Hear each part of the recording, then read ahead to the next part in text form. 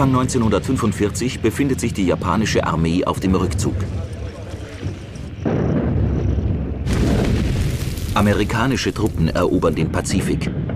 Ihre U-Boote und Flugzeuge haben die japanische Handelsflotte und die Flugzeuge der kaiserlichen Marine zerstört.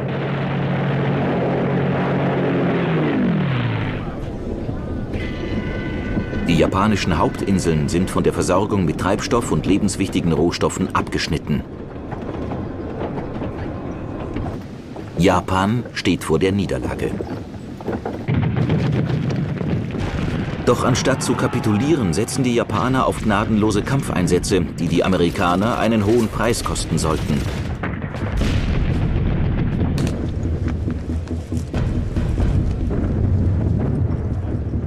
Jede Eroberung von japanischem Boden sollte mit alliiertem Blut vergolten werden.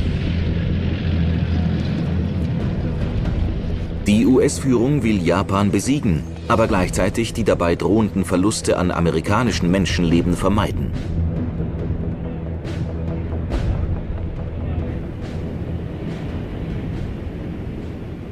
Amerika setzt schließlich die bislang fürchterlichste Waffe der Menschheitsgeschichte ein. Eine Waffe, die den Ausgang des Krieges entscheiden sollte.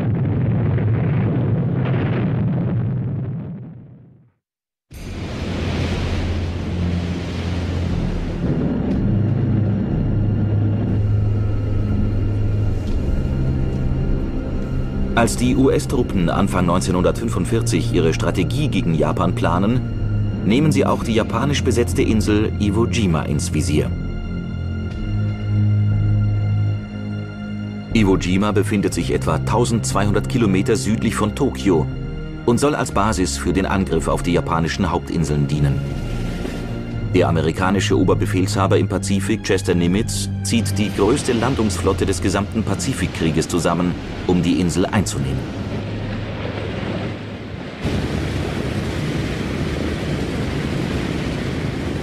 Nimitz will kein Risiko eingehen.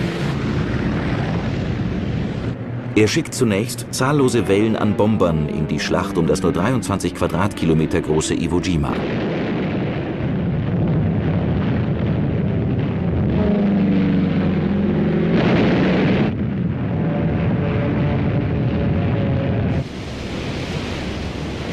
Darauf beschießt die amerikanische Marine die kleine Insel drei Tage lang mit schwerer Schiffsartillerie.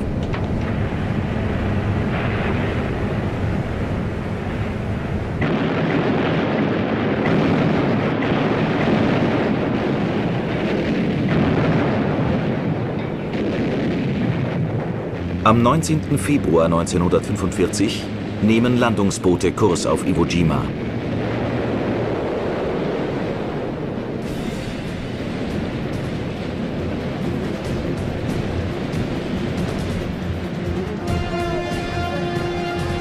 Kurz nach 9 Uhr vormittags gehen die US-Truppen an der Südwestküste an Land. Für wenige Momente herrscht eine furchterregende Stille. Die japanischen Truppen auf Iwo Jima scheinen durch den massiven Beschuss geschlagen. Doch dann bricht das japanische Geschützfeuer über die Amerikaner herein.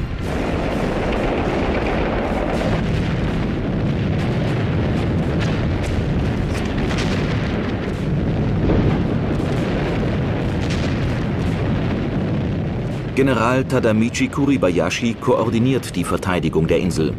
Er hat seinen Männern befohlen, erst zu schießen, wenn die amerikanischen Marines in Reichweite sind. Die Japaner feuern aus Tunneln, Höhlen und Bunkern.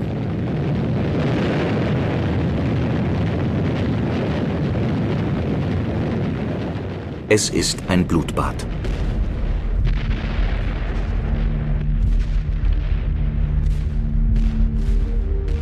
Doch kleinen amerikanischen Trupps gelingt es schließlich, sich allmählich vorwärts zu kämpfen.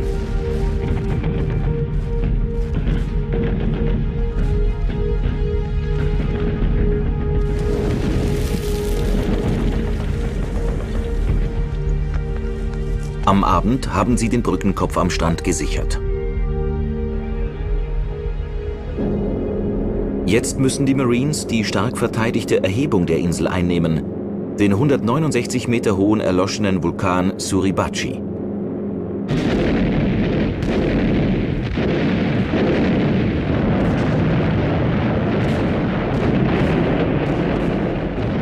Drei Tage lang kämpfen sich US-Truppen die Steilhänge hinauf.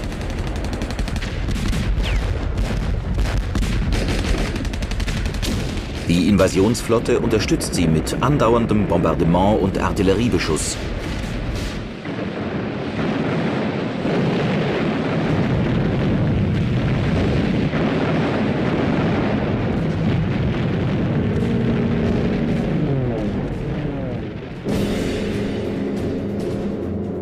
Am 23. Februar 1945 führt First Lieutenant Harold Schreier ein Platoon zum entscheidenden Angriff. Mit einer US-Flagge im Marschgepäck. Auf dem Gipfel hissen sie die amerikanische Fahne mit Hilfe eines Rohrstücks.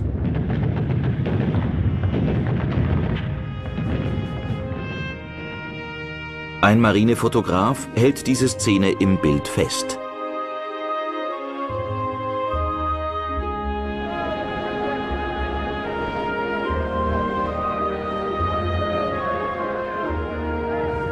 Die erschöpften Soldaten an den Stränden jubeln und weinen vor Glück.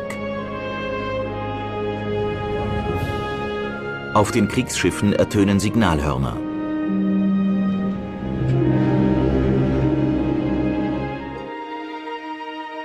Drei Stunden später stellt der Kriegsberichterstatter Louis Lowery die Flaggenszene auf dem Gipfel mit einer größeren Fahne nach.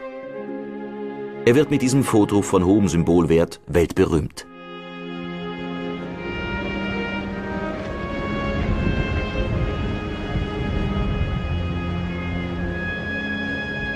Doch die Schlacht um Iwo Jima ist noch nicht vorüber.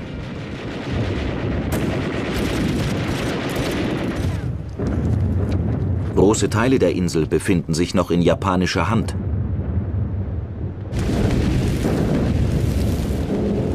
Am folgenden Tag nehmen die Marines ein strategisch wichtiges Flugfeld ein.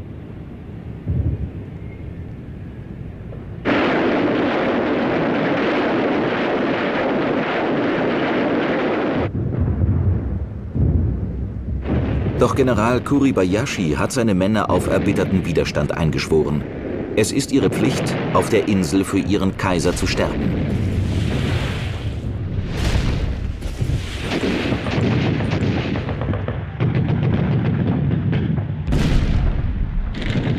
Jeder Angriff gerät zu einem blutigen Kampf.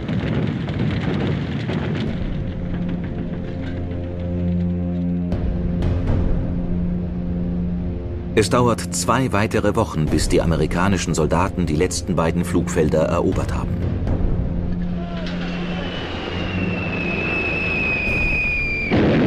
Noch während die Kämpfe andauern, nimmt die US Air Force die ersten beiden Rollfelder in Betrieb.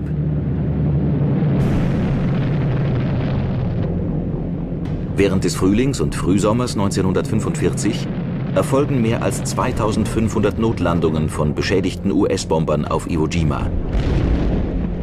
Vielen Besatzungen rettet die Insel das Leben.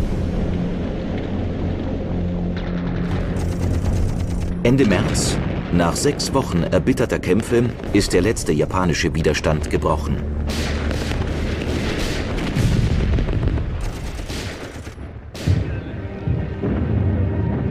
Doch die Eroberung von Iwo Jima ist auch eine menschliche Tragödie.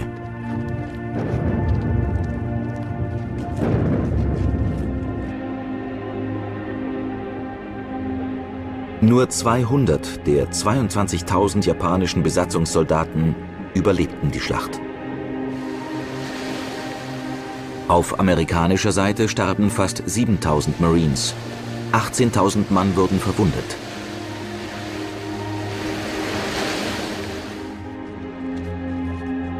US-Armee hat einen wichtigen pazifischen Brückenkopf errichtet.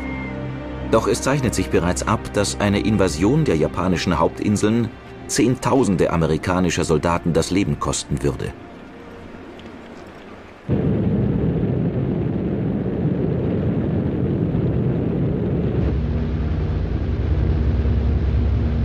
Einige Militärstrategen in den USA liebäugeln schon lange mit einer Alternative zur Invasion.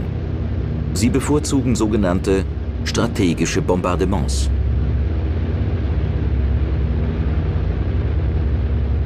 Gezielte Bombenangriffe sollen die japanische Infrastruktur und Industrie zerstören und es Japan so unmöglich machen, den Krieg fortzuführen.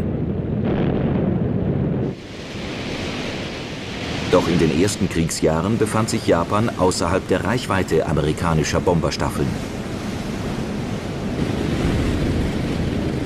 Lediglich im April 1942 war es der US Air Force ein einziges Mal gelungen, Tokio zu bombardieren. Die Bomber waren dabei an die Grenzen ihrer Reichweite gelangt. Auf lange Sicht war diese Strategie nicht durchführbar. Zu Beginn des Jahres 1944 stellt der Boeing-Konzern einen neuen Langstreckenbomber vor, die B-29 Superfortress. Die B-29 kann eine Bombenlast von 9 Tonnen 5200 Kilometer weit transportieren.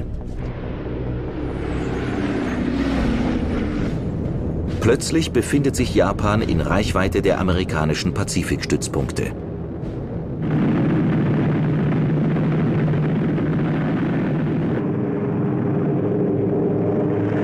Im Sommer 1944, neun Monate vor dem Angriff auf Iwo Jima, beginnen B-29-Bomber vom Stützpunkt Chengdu im Südwesten Chinas eine Serie von Bombenangriffen auf Japan. Doch die Entfernung ist immer noch zu groß für eskortierende Begleitjäger, sodass die B-29-Bomberflotte allein und aus Sicherheitsgründen in großer Höhe fliegen muss.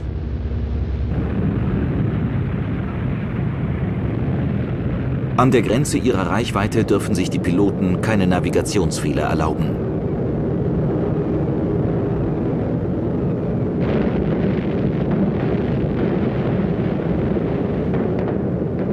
Viele Bomben verfehlen ihre anvisierten Ziele.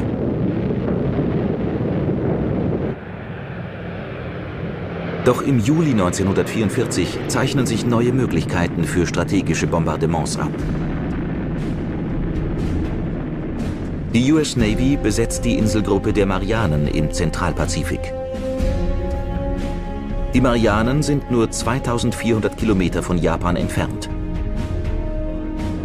Damit liegt Japan plötzlich in Reichweite amerikanischer Langstreckenbomber. Eine entscheidende Wende im Kriegsverlauf.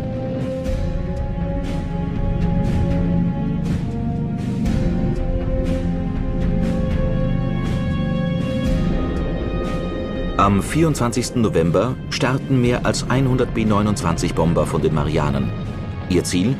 Die Flugzeugfabrik Nakajima in Tokio.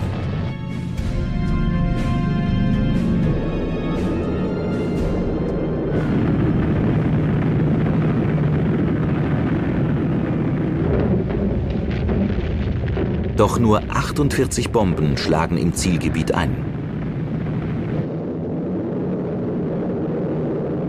Drei Monate lang greift die US Air Force weitere Industrieanlagen an. Aber noch immer müssen die ungeschützten B-29 ihre Bombenlast aus großer Höhe abwerfen. Ihre Ziele liegen häufig unter einer dichten Wolkendecke verborgen. Starke Winde erschweren das zielgenaue Bombardieren. Zudem bereiten die Triebwerke der Bomber Probleme. Und immer wieder greifen Kamikaze-Piloten die fliegenden Festungen an.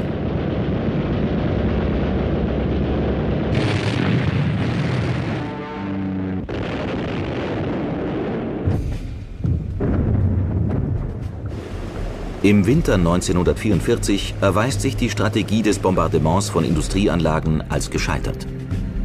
Um Japan zur Aufgabe zu zwingen, müssen die USA zu anderen Mitteln greifen.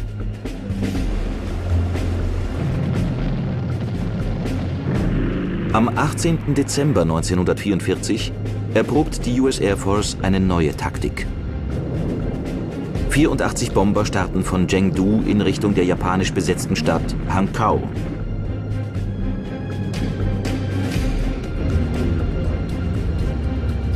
Sie fliegen erheblich tiefer als bisher und führen in erster Linie Brandbomben mit sich.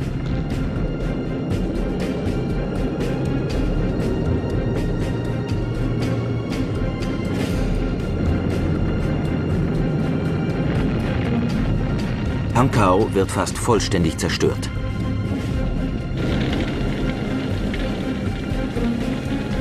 Die Folgen dieses Bombenangriffs sind verheerender als alle vorherigen amerikanischen Attacken.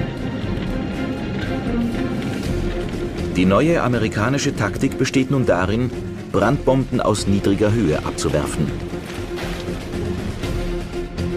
General Curtis LeMay, Kommandeur des Bomberkommands auf den Marianen, ordnet die systematische Bombardierung Japans mit Brandbomben an, vergleichbar den britischen Luftangriffen auf Deutschland.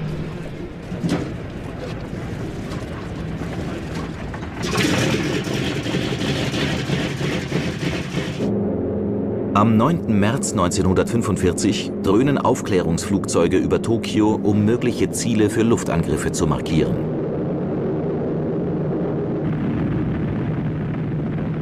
Diese deutlich sichtbaren Brände werden nun von 300 B-29-Bombern ins Visier genommen.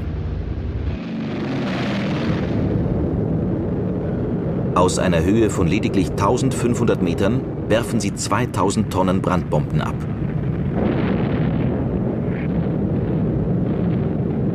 Die Holzhäuser Tokios werden ein Raub der Flammen. Gigantische Feuerstürme breiten sich schneller aus, als die Menschen fliehen können.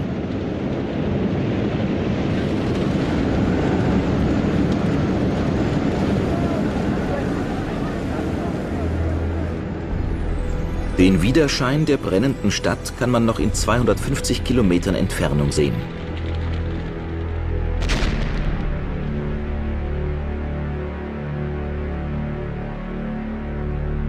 Als der Fliegeralarm am nächsten Morgen endet, sind 41 Quadratkilometer des Stadtgebietes von Tokio zerstört. Mehr als 100.000 Menschen sind tot und eine Million Einwohner obdachlos.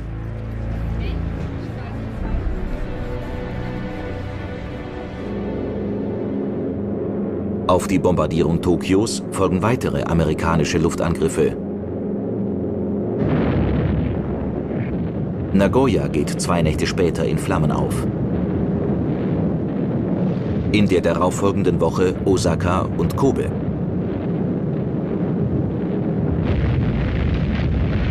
Die ausgedehnten Feuerstürme zerstören großflächig Wohnhäuser und Industriegebiete. Doch die US Air Force ist nicht unverwundbar. Ohne Geleitjäger sind die Bomber ein leichtes Ziel für japanische Jäger.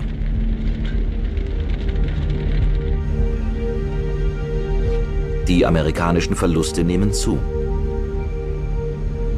Um die Angriffe fortzusetzen, benötigen die USA näher gelegene Stützpunkte.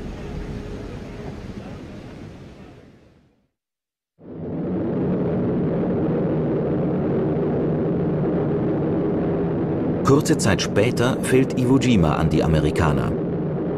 Die Bomber erreichen Japan nun schneller. Zudem können Mustang-Jagdflugzeuge die Bomberstaffeln eskortieren.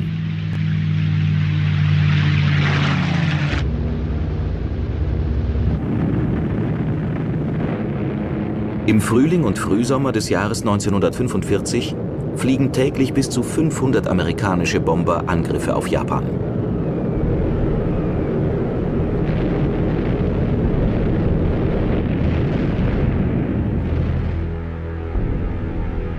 Nachdem die wichtigsten Industrieanlagen zerstört sind, nimmt General LeMay neue Ziele ins Visier. Doch trotz katastrophaler Zerstörungen und Hunderttausender Toter ist der japanische Widerstand ungebrochen. Die US-Führung gelangt zur Einsicht, das bisherige Bombardement würde Japan niemals zur Aufgabe zwingen. Eine groß angelegte Invasion Japans scheint unvermeidbar.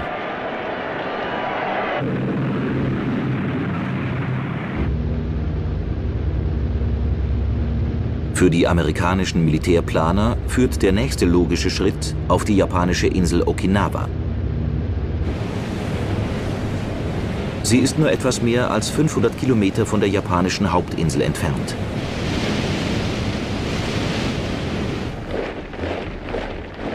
Hundertzwanzigtausend Soldaten sollen Okinawa verteidigen.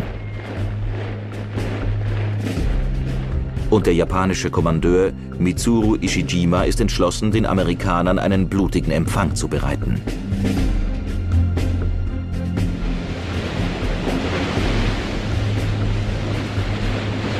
Der amerikanische Befehlshaber Admiral Nimitz stellt erneut eine riesige Flotte zusammen. Darunter 40 Flugzeugträger und 18 Schlachtschiffe.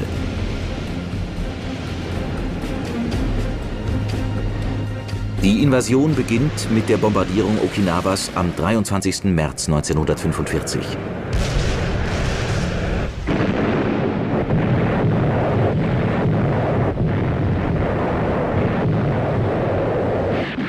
Der Beschuss dauert eine Woche lang.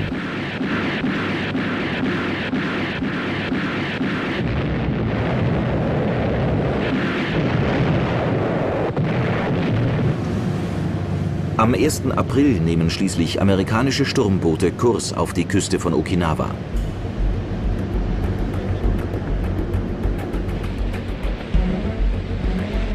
Überraschenderweise stoßen sie kaum auf Widerstand.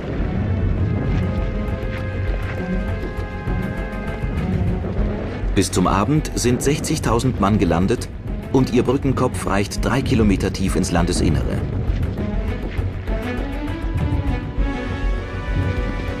In den folgenden beiden Tagen rücken die Amerikaner weiter ins Innere von Okinawa vor. Und erneut stoßen sie nur auf wenig Gegenwehr.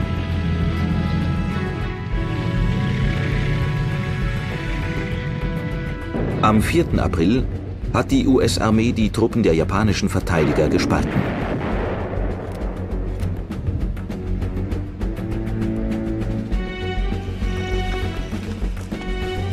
Marinedivisionen stoßen nach Norden vor, die Armee nach Süden. Die Marines treffen weiterhin nur auf sporadischen Widerstand und haben den Norden Okinawas nach drei Wochen eingenommen. Doch im Süden der Insel stellen sich die Japaner den amerikanischen Truppen mit massiven Angriffen entgegen.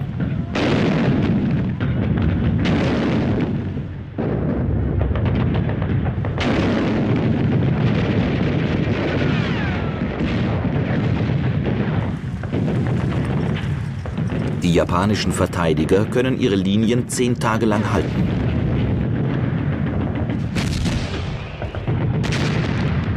Und als sie sich zurückziehen, leisten sie aus ihrer neuen Position heraus erneut heftigen Widerstand.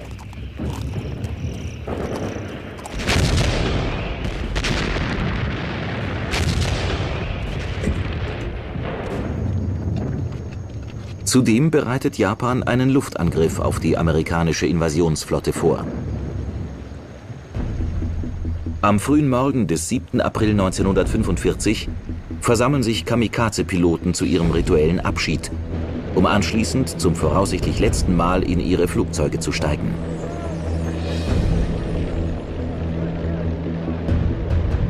Mehr als 700 Flugzeuge, die Hälfte davon mit Kamikaze-Piloten besetzt, greifen die US-Flotte an.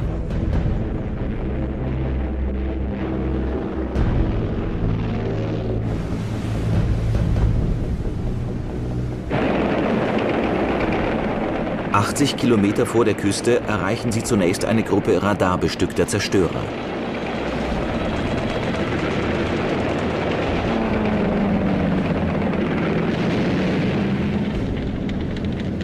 Am ersten Tag des Angriffs versenken die Japaner zwei US-Zerstörer.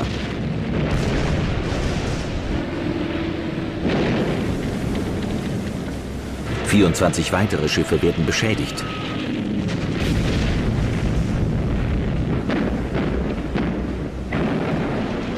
Doch Japan hat dabei mehr als 300 Flugzeuge verloren. In den folgenden Tagen setzen die Japaner eine neue Waffe ein. Die Oka, japanisch für Kirschblüte, ist ein raketengetriebenes Flugzeug, das von einem Kamikaze-Piloten gesteuert wird.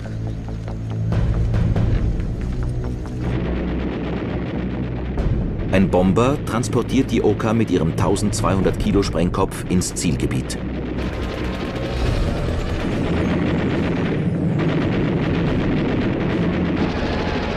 Am 12. April versenken japanische Angreifer so einen weiteren US-Zerstörer.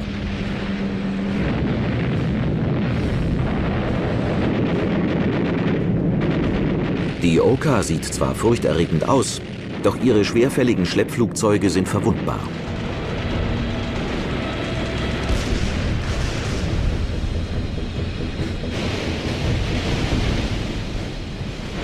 Angesichts der drohenden Niederlage unternimmt nun auch die japanische Marine einen nahezu selbstmörderischen Kampfeinsatz.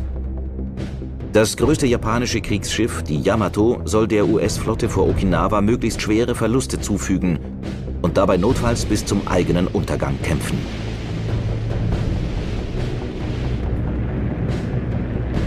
Doch das riesige Schlachtschiff wird schon früh geortet.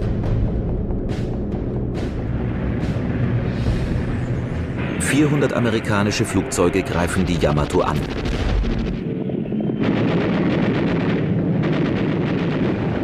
Nach zweistündigem Kampf explodiert das Schiff.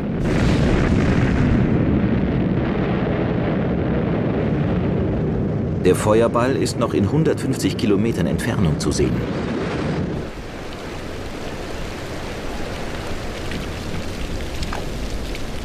Inzwischen verwandeln auf Okinawa schwere Regenfälle das Schlachtfeld in eine Sumpflandschaft. Der Marsch der US-Truppen nach Süden dauert einen Monat lang.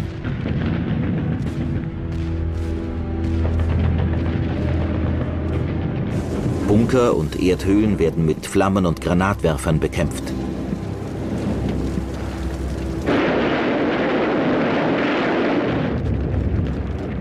Doch jedes Mal, wenn die US-Truppen die japanischen Stellungen überrannt haben, bilden die Japaner eine neue Verteidigungslinie.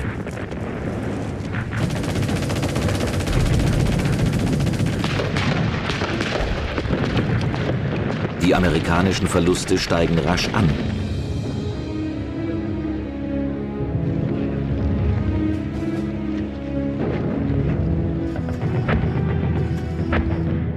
Schließlich erobern sie am 1. Juni die Stadt Shuri.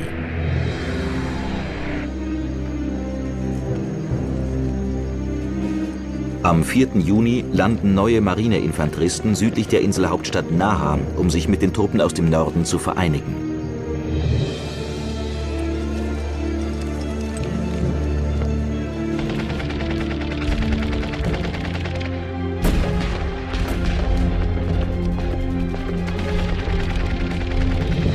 Nach heftigen Kämpfen bricht der japanische Widerstand am 17. Juni zusammen.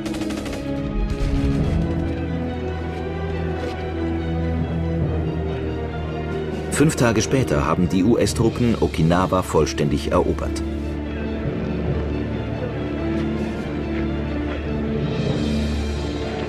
Der japanische Befehlshaber General Ushijima begeht Selbstmord.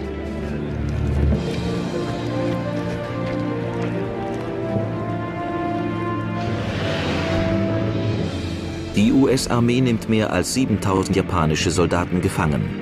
Nie zuvor haben sich so viele Japaner ergeben. Doch es war eine blutige und verlustreiche Schlacht. Die Amerikaner haben 100.000 japanische Soldaten und 40.000 Zivilisten getötet.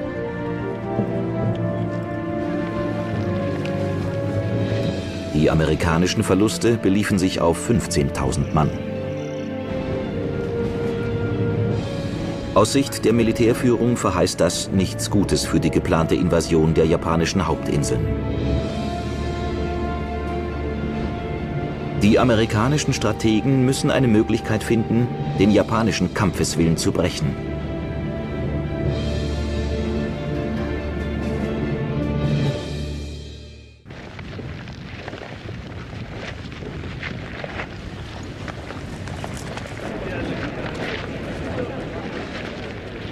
Nach der verlustreichen Schlacht um Okinawa benötigen die Amerikaner eine neue Strategie.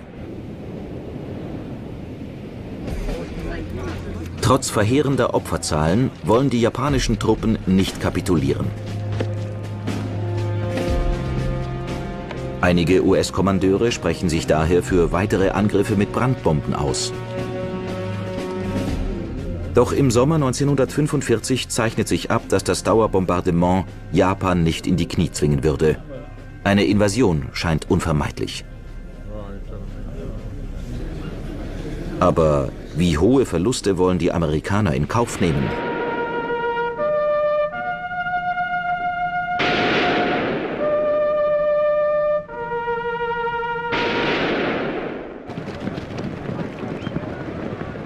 Um die japanischen Hauptinseln zu verteidigen, stehen eine Million Soldaten bereit. Sie verfügen über 5000 Flugzeuge. Zudem werden ständig neue Kamikaze-Piloten ausgebildet.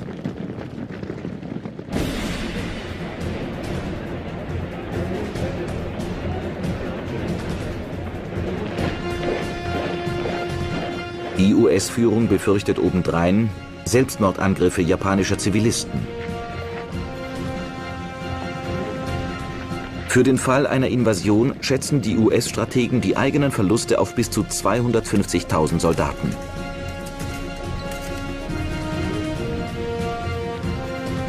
Dann, im Juli 1945, erhält der neue US-Präsident Harry S. Truman Kenntnis von den Ergebnissen eines streng geheimen militärischen Forschungsprogramms, des Manhattan-Projekts.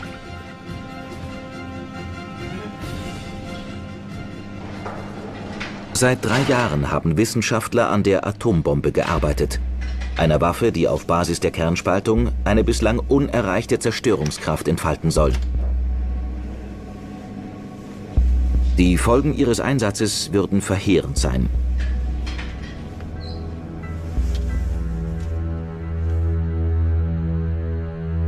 Leiter des Projekts ist der amerikanische General Leslie Groves.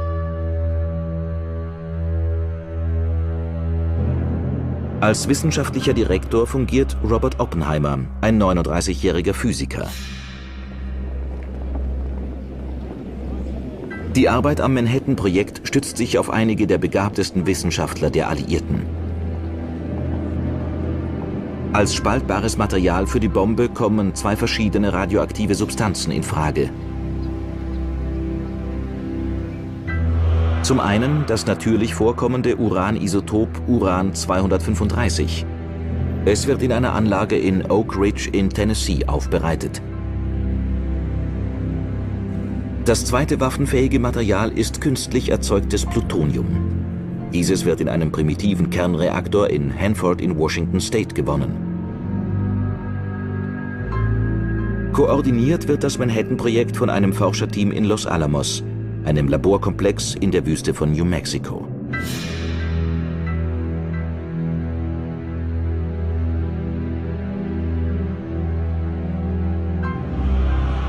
Zu Beginn des Jahres 1945 sind sich die Forscher sicher, dass sie eine funktionierende Uranbombe bauen könnten. Doch dazu sind riesige Mengen an Uran-235 nötig, vielleicht mehr als den USA zur Verfügung steht. Daher konstruieren sie als Alternative auch eine Plutoniumbombe. Doch deren Funktionsweise ist kaum erforscht. Niemand weiß, ob sie explodieren würde. Vor einem militärischen Einsatz soll die Bombe daher getestet werden. Im Juli 1945 hat die Plutoniumbombe 2 Milliarden Dollar verschlungen und ist bereit für einen ersten Test. Die Bombe mit dem Tarnnamen The Gadget, der Apparat, wird auf einen Stahlturm in der Wüste New Mexicos geschafft. Am 16. Juli 1945 um 5.30 Uhr morgens beginnt das Atomzeitalter.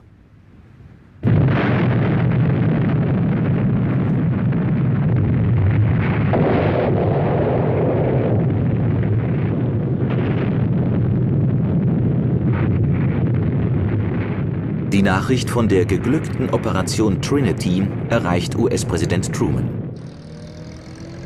Dieser ist gerade in Deutschland angekommen, um mit Stalin und Churchill an der Potsdamer Konferenz über die Zukunft Europas teilzunehmen.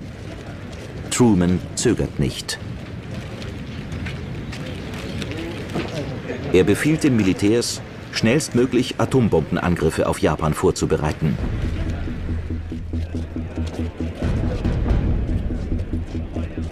Die Amerikaner transportieren eine Uranbombe mit der Bezeichnung Little Boy sowie eine Plutoniumbombe mit dem Codenamen Fat Man auf die Marianen.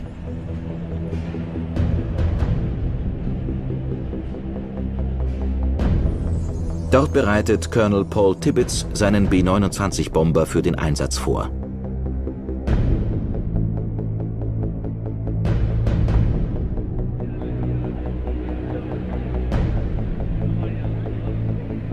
Um 2.45 Uhr am Morgen des 6. August hebt Tibbets Bomber Enola Gay, benannt nach seiner Mutter, von der Startbahn ab. An Bord befindet sich die Uranbombe Little Boy.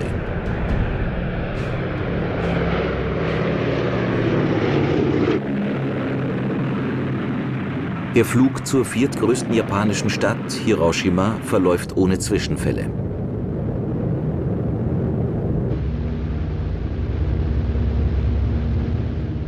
Um 8 Uhr an diesem sonnigen Augustmorgen nähert sich die Enola Gay Hiroshima in einer Höhe von 10 Kilometern.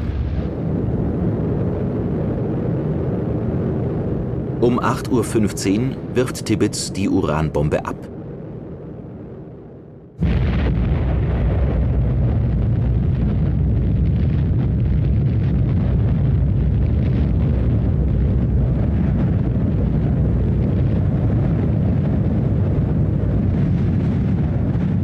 Ihre Sprengkraft entspricht jener von 13.000 Tonnen TNT. Die Temperatur am Explosionsort erreicht 5000 Grad Celsius. Tausende Japaner sterben sofort. Sie verdampfen in der Hitze.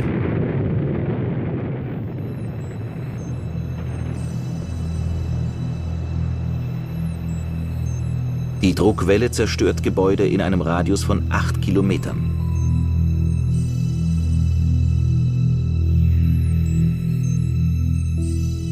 Die Schätzungen über diejenigen Opfer, die sofort sterben, reichen von 40.000 bis 100.000 Tote.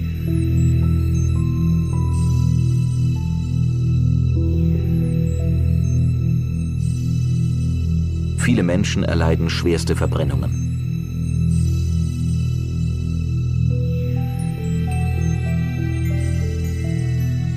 In den folgenden Wochen sterben tausende weitere Japaner an den Folgen der radioaktiven Strahlung.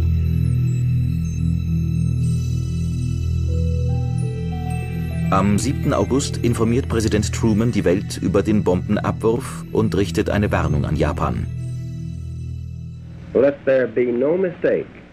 We shall completely destroy Japan's power to make war. They may expect a rain of ruin from the air the like of which has never been seen on this earth. Doch Japan kapituliert nicht. Zwei Tage später werfen die USA die zweite Atombombe Fat Man über der Hafenstadt Nagasaki ab.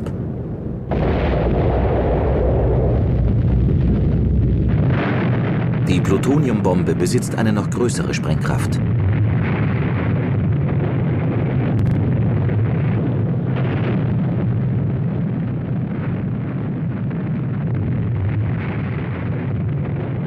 Zwar trifft die Bombe ihr Ziel nicht genau, richtet aber dennoch massive Verwüstungen an.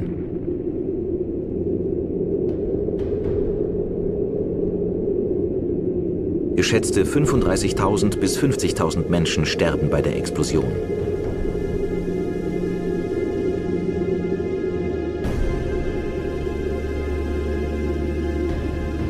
Die japanische Führung sieht sich einer neuen, furchtbaren Waffe gegenüber,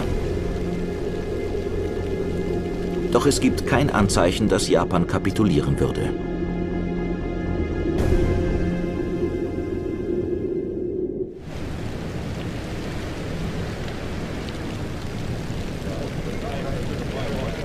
Dem zweiten Atombombenabwurf folgt eine eindringliche Warnung des amerikanischen Außenministers James Burns.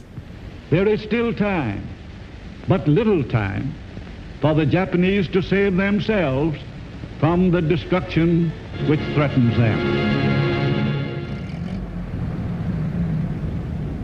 Amerika droht mit weiteren Atombomben, solange bis Japan kapitulieren würde.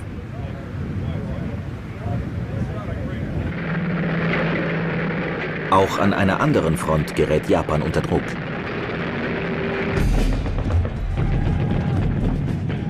Am Morgen des 9. August dringen eineinhalb Millionen sowjetische Soldaten in die Mandschurei und Nordchina ein.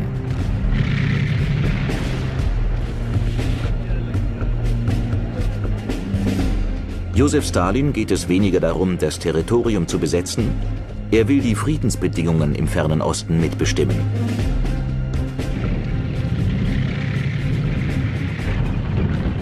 Es befinden sich noch immer mehr als eine Million japanischer Soldaten auf dem chinesischen Festland. Doch angesichts des raschen Vormarschs der Roten Armee ist Japans Lage aussichtslos.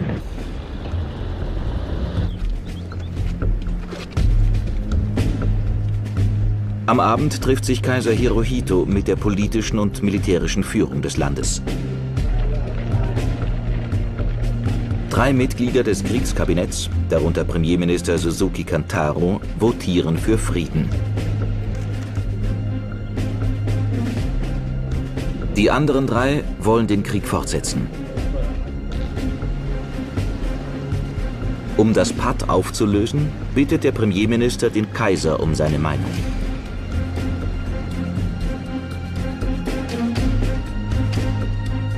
Kaiser Hirohito spricht sich für Frieden aus, unter der Bedingung, dass er Staatsoberhaupt bleiben dürfe. Am nächsten Morgen erhält US-Außenminister Burns das Friedensangebot.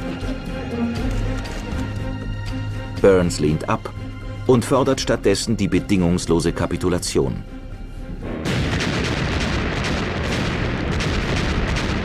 Während das japanische Kabinett noch diskutiert, dringen sowjetische Soldaten tiefer in die Mongolei vor. Amerikanische Kampfflugzeuge operieren mittlerweile unbehelligt über Japans Himmel und zerstören alle Arten von Zielen.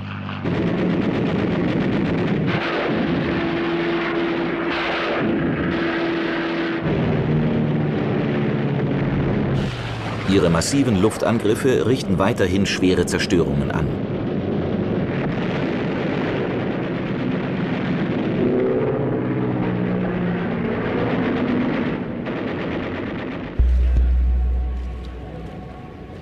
Am 14. August sichert die US-Regierung Japan zu, dass die Stellung des Tenus nicht angetastet werde, wenn er den Befehlen des alliierten Oberkommandos Folge leisten würde.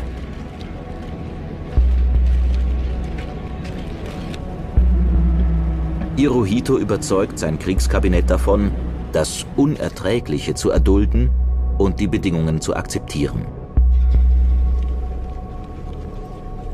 Am selben Tag verkündet US-Präsident Truman in Washington die bedingungslose Kapitulation Japans. I deem this reply a full acceptance of the Potsdam Declaration, which specifies the unconditional surrender of Japan. Auf den Straßen amerikanischer Städte brechen spontan Jubelfeiern aus.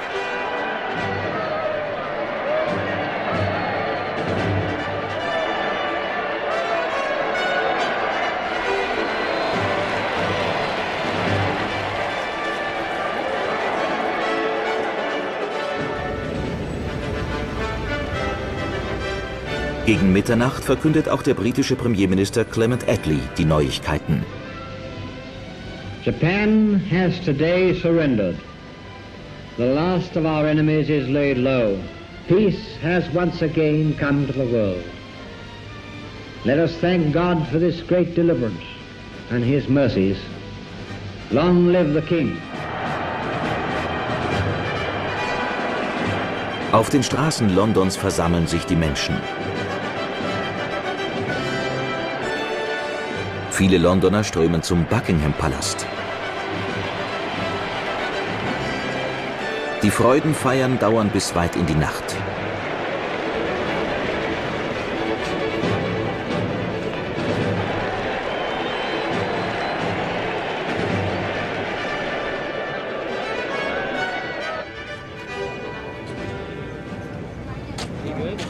Am nächsten Morgen, am 15. August, hört das bestürzte japanische Volk zum ersten Mal die Stimme seines Kaisers.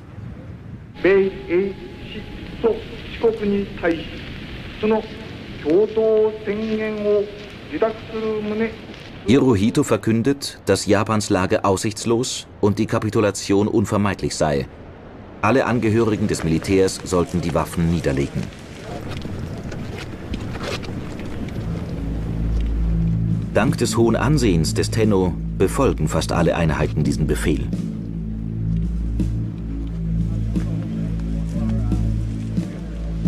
Doch in der Mandschurei gehen die Kämpfe zwischen japanischen und sowjetischen Truppen trotz der Kapitulation weiter.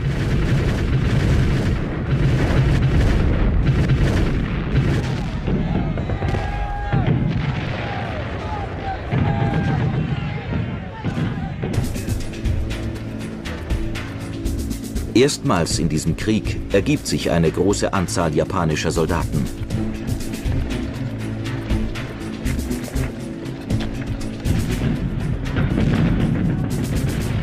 Doch Stalin will so viel Territorium wie möglich für sich gewinnen.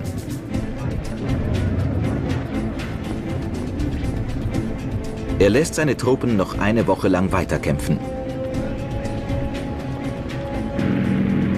Dann befindet sich die Mandschurei, die Hälfte Koreas und Teile Nordchinas unter seiner Kontrolle.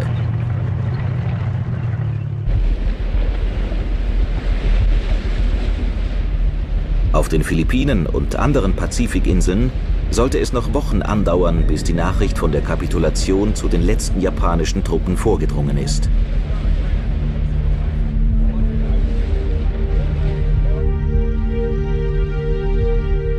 Manche japanischen Soldaten verbergen sich für immer im Dschungel.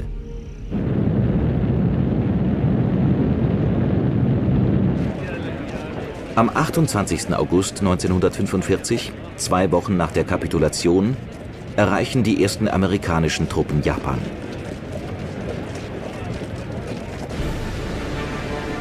Eine große amerikanische Flotte erreicht die Bucht von Tokio und passiert dabei die zahllosen Wracks der einstmals so stolzen und nun geschlagenen japanischen Marine.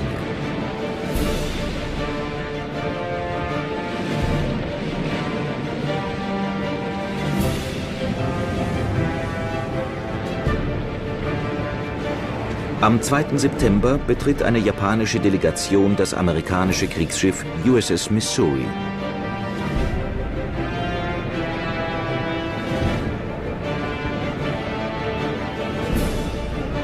Auf dem Achterdeck unterzeichnet der neue japanische Außenminister Mamoru Shigemitsu die Kapitulationserklärung.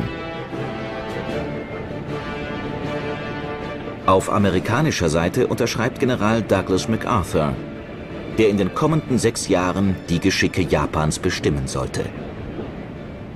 As Supreme Commander for the Allied Powers, I announce it my firm purpose in the tradition of the countries I represent, to proceed in the discharge of my responsibilities with justice and tolerance.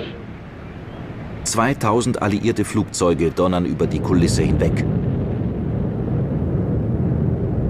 Eine Demonstration jener Stärke, die die Kriegsgegner in die Knie gezwungen hat.